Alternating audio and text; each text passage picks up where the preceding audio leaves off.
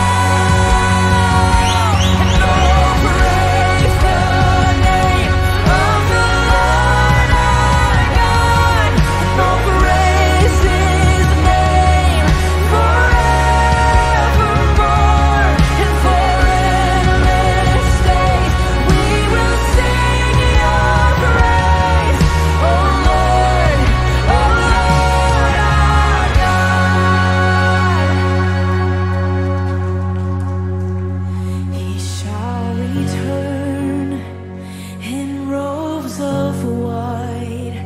The blazing sun shall pierce the night, and I will rise among the saints.